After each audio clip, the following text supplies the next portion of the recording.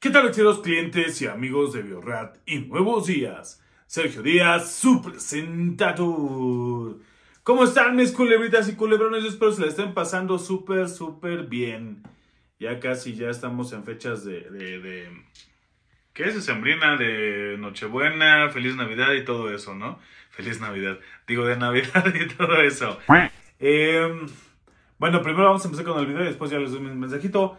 Pero vamos a empezar con este video. Este video lo sacamos porque creemos que es digno para. Les voy a dar una lista, mi top 8 de mis animales que me gustaría tener así un sueño guajiro de que Santa Claus, porfa, porfa, cúmplemelo y tráemelos en una cajita para tenerlos.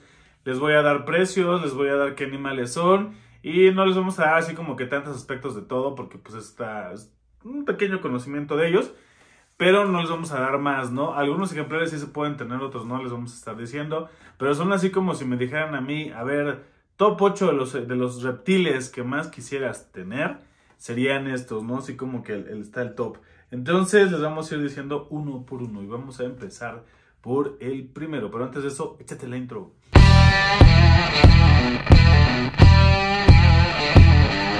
Vamos con el varano azul o el nombre científico es Varanus macrei, ¿vale? Es este, un varano arborícola, varano arborícola azul.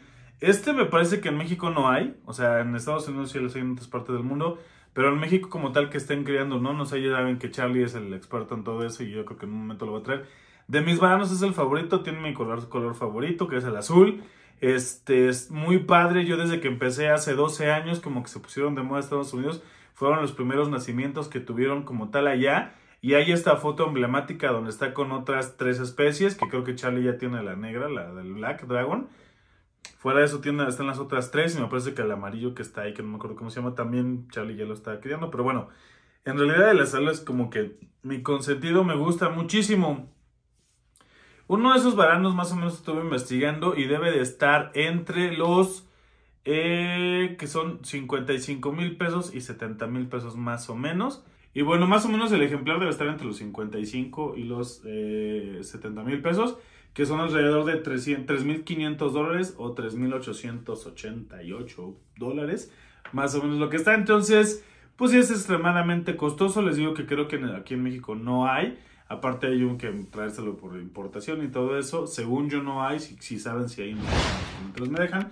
Y el precio que investigué fue eso, la verdad es que no estoy muy metido porque sé que son ejemplares que muy posiblemente no voy a tener, por eso es el chiste, no es mi lista mágica, pero está muy padre, la colita como la tienen así, son, son varanos arborícolas y este es el azul, entonces fue el primero. Y el segundo, el segundo es el dragón de Komodo, señores, entonces si vamos a sueños, que soñemos bien. Un dragón de Komodo pues es el varano más grande que hay sobre la Tierra, está súper padre. Este es como el sueño guajiro de muchos, muchos entramos al hobby. No, o sea, no muchos entramos al hobby porque yo entré por serpientes, pero pues cuando ves lagartos, varán, todo este tipo de cosas, es como de los que más me gustan, me gustaría tener uno de esos.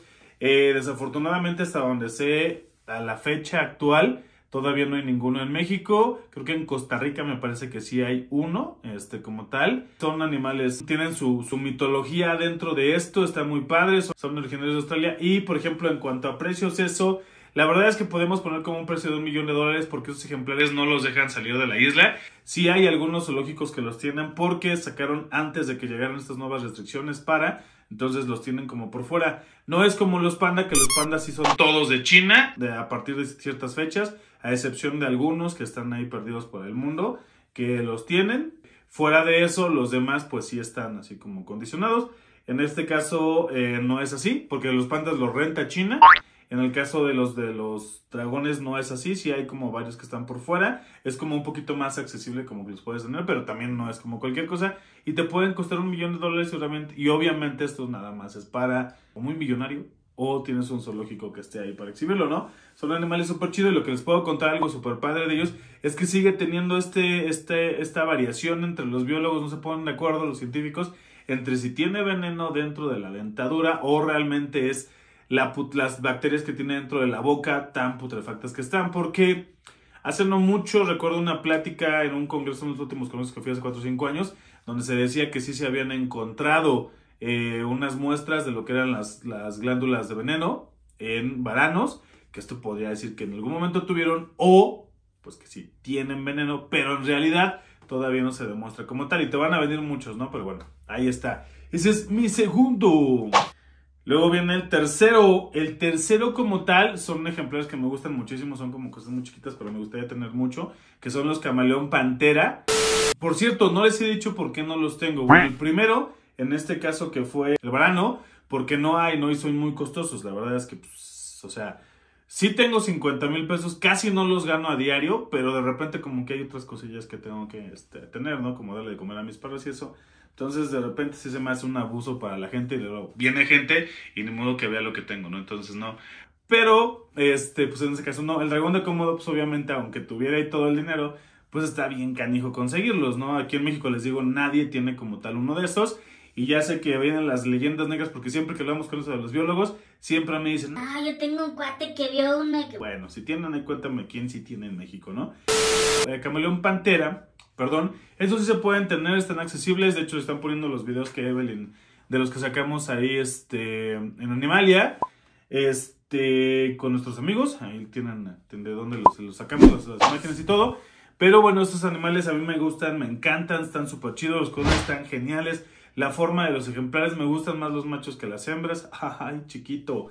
Pero es que tienen como que mejor forma, ¿no? Es como mejor dinamismo, están muy padres. Eh, dato curioso es que acuérdense que los camaleones, estos son los que tienen los colores más chidos, vienen de las islas de, Madagascar, son los que tienen los, los colores más chidos, pero no cambian así como tal como lo ven en los videos que de repente va cambiando y se van como el camuflaje super cabrón. Sí es un camuflaje muy bueno porque se, como vienen del trópico, camuflajean con los colores de ahí, de las plantas, de, las plantas, de las flores, de las este, frutas, pero pues no llegan a hacer eso. Pero aún así son ejemplares súper chidos. Los ojos ya saben que tienen un control total sobre ellos, entonces no son como con la limitación que tienen. Y eso está muy padre. El precio más o menos de estos ejemplares puede ir desde los 15 mil pesos hasta los 35, 40, 50 mil. depende de la localidad que lleguen a tener, en este caso la localidad junto con el color. Depende de la localidad que lleguen a ustedes a querer. Esos no es tan difícil de obtener, estos sí se podrían tener. ¿Por qué Sergio no los tiene? Porque ya tengo demasiados animales aquí, como ven las serpientes, y meter una especie nueva que cambia en la PIMS es muy complicado. Yo sé que hay mucha gente que se avienta y todo, pero luego están sufriendo.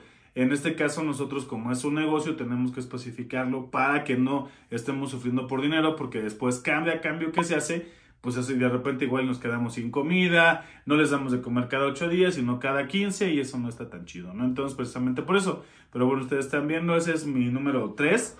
Eh, que quisiera, estos yo creo que en algún momento sí los voy a tener porque me gustan mucho. Imagínense un árbol así como viendo la imagen, con 4, 5, 6, 23 Estaría súper chido.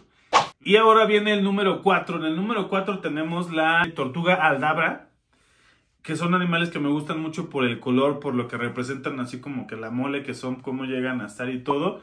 Son ejemplares que sí hay aquí en México. Este, hay un criadero, no me acuerdo cómo se llama, pero hay un criadero que los tiene. Son animales muy, muy, muy costosos. Son ejemplares que llegan a vivir más de 100 años. Entonces entiendan que esos ejemplares son como que la herencia para sus nietos, ¿no? Porque pues los vas a tener tú, tus hijos, tus nietos y a lo mejor tus bisnietos todavía. Tienen que tener mucho cuidado con ellos si los puedes comprar. Esto sí es como más como el camaleón.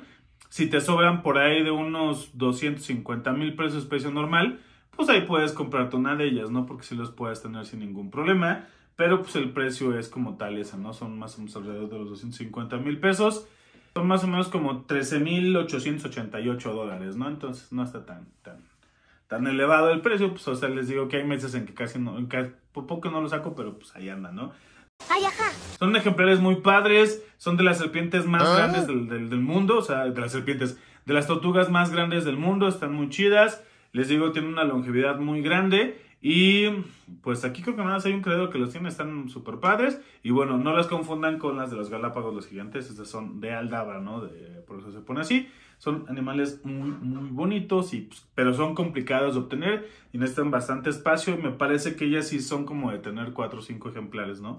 Entonces ahí échanle 13.888 dólares por 5 ejemplares que se van a tener que llevar. Y bueno, Ahora, en el top 5, el 5 es el Diablo Espinoso. Este pequeño ejemplarcito que están viendo ahí las fotos y todo, es como el top de todos. Es este el Moloch, como lo tienen. Diablo Espinoso, está súper, súper fregón. Tiene muchísimas características dentro de ellos, que se alimenta de hormigas, ta, ta, ta. Es que, ¿cómo se llama? Saca sangre de los ojos para como defensa. Vean lo bonito que está. Estos ejemplares están muy cuidados. Casi no pueden salir de Australia. Me parece que sí hay venta de ellos en Estados Unidos. No sé qué tan legal sea. Pero sí hay algunos. Sé que está prohibida la distribución de ella por el mismo gobierno de Australia. Eso sí sé. Pero no sé qué tanto ahí se pueda o sea tan flexible para que lo lleguen a tener. Solo sé que son animales complicados. Y hace como cuatro años y medio, cinco el Chaca decía que sí se podían tener de mascota, entonces le encargué que investigara y todo, porque íbamos a hacer el video. Al final no lo sacamos porque obviamente no estaba, pero me agarró y me dijo que más o menos le estaba pidiendo un chavo. No sé qué tan real sea esto, me refiero a que el chavo sí existía porque le estaba pidiendo, él me enseñó los videos y todo. Pero no sé qué el chavo que tanto estaba troleando. Obviamente no lo compramos ni dijimos nada. Pero el costo era de, me acuerdo, era por ahí de los 15 mil dólares. En, en, aquellos entonces, hace 5 años, era de 15 mil dólares para comprarle, para la compra de uno de estos, ¿no? Realmente no sé qué tan cierto sea o qué tan falso, pero bueno, ahí estaba. Son ejemplares súper padres, son súper bonitos. Cómo tienen todo esto, todo, todo, todo lo que son ellos está muy chido. Vienen de Australia. Y les digo que este, pues es de los más, o sea, como de los más representativos dentro de. Se los presento para que ustedes también lo vean, lo conozcan, pero yo creo que ya lo conocían bastantes de ustedes. Y luego después de ahí viene la Crotalum. Bueno, en realidad son como muchos del género Botriechis. Chequenle Botriechis. Botrechis, pónganle, no sé cómo lo, digan ustedes, Botrechis o Botrechis es lo mismo género de Botrechis o Botrechis, que viene de varios colores, son como con sus subespecies, en especial a mí la que me gusta mucho, o sea, todas están muy padres, pero en especial a mí la que me gusta es la Chelegeli, Chelegeli, Chelegeli, acá está el nombre, Chelegeli, que es una serpiente amarilla con las que están así, no, esas son de Costa Rica, bueno, son de todo el centro, hay bastantes en Centroamérica, pero en especial estas la encuentras en eh, Costa Rica. Está muy padre, son bastantes ejemplares que le está poniendo ahí. Todo el género Botreques, por ejemplo, es muy, muy padre. Están para las fotos hermosos. Eh, les digo, vienen, depende de la, subespecie, vienen las diferentes coloraciones, si se, se, modifica. Las escamas quilladas que llegan a tener están súper padres, son súper bonitas, están muy, muy chidas. Y está así como para agarrarlas, ¿no? Como que te dan cosas agarrarlas. El único problema que tienes con esto es que son súper venenosas, ¿no? Entonces sí te podría mandar al hospital y si te tontas un poquito más, sí te va a llegar a mandar a, a otro lado. Pero bueno, entonces están súper bonitas. En especial la mía esta amarilla que les estoy mostrando, les digo que es muy padre, pero hay de otras, de otras coloraciones. Verde, hay hasta algunos que son como tono azulado, hay hasta unos así como con puntitos negros, puntitos negros y naranjas, ¿no? Están muy, muy padres. El único problema son animales que no son muy grandes, son una, distancia más o menos algo así. Longitud de este, de este tipo. Están súper bonitas, este, pero pues son venenosas, ¿no? El problema de esos tenerlos como venenosas.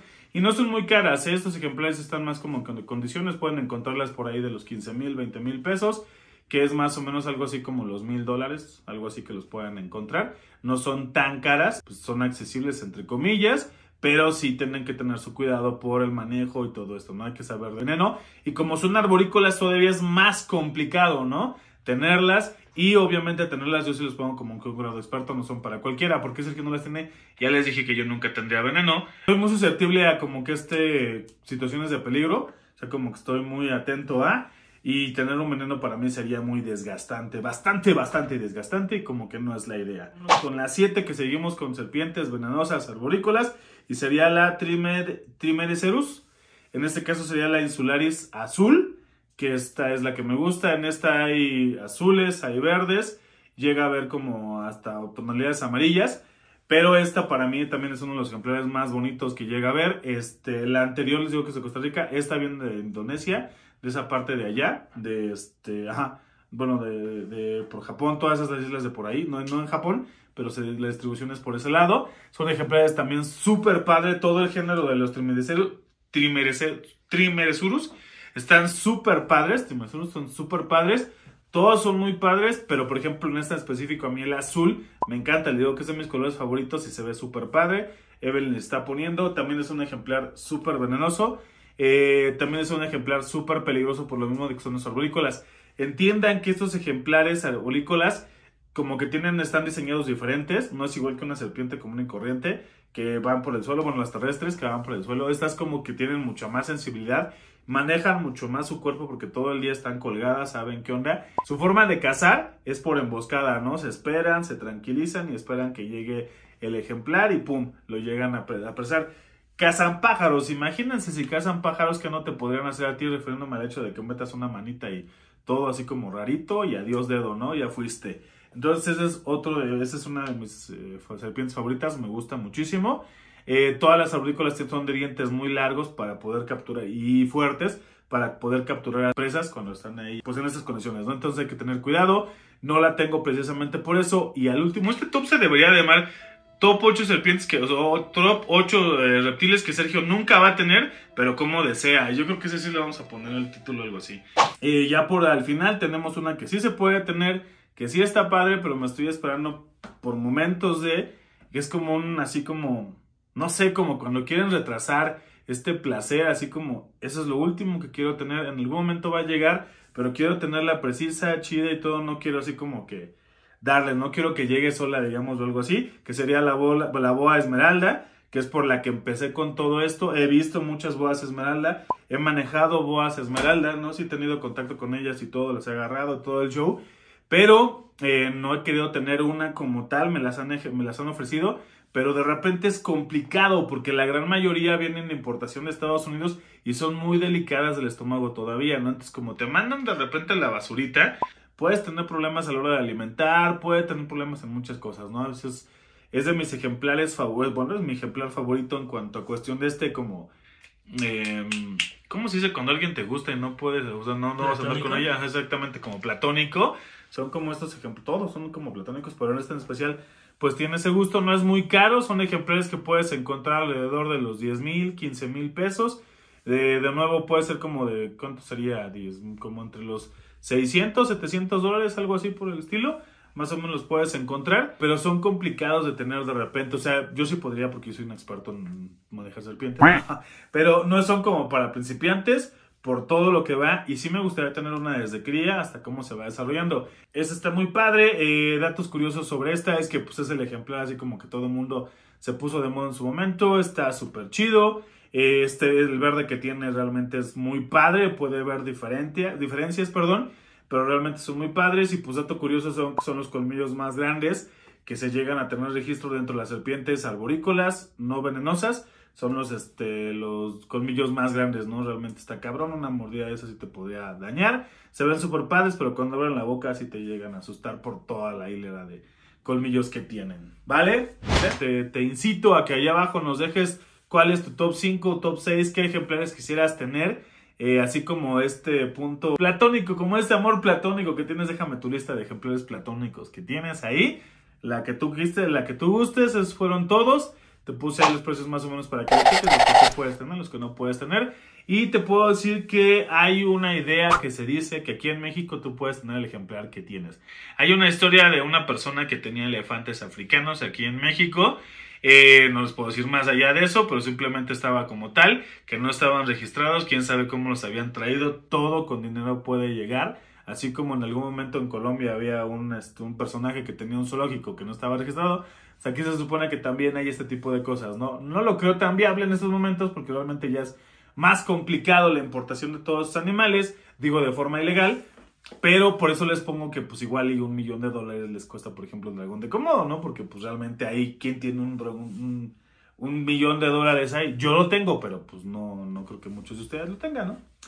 Esto es antes del 24, espero se la pasen súper bien con su familia se la pasen súper chido, disfrútenlos, de verdad, de verdad, disfruten mucho, abracen mucho, eh, tengan mucho amor en estas fechas, de corazón se los deseo para todos ustedes, que les vaya súper bien, genial, que estén con sus seres queridos, con su familia, si van a estar solos también no importa, cenen rico, dense ese gusto, eh, en realidad esas fechas de repente son medio complicadas porque todo el mundo está saliendo, todo el mundo está ahí, sales tantito y te estresas, olvida todo eso, diviértete, si vas a tomar no tomes tanto, tampoco es, no te pierdas del hecho del placer de la compañía de la gente, para que estés súper bien, Eh, no te olvides de darle de cenar a tus ejemplares, o sea, la semana de, recuerda que los ejemplares de nosotros no hacen hibernación, tienes que seguirles dando de comer porque la hibernación es peligrosa para ellos, ¿sale?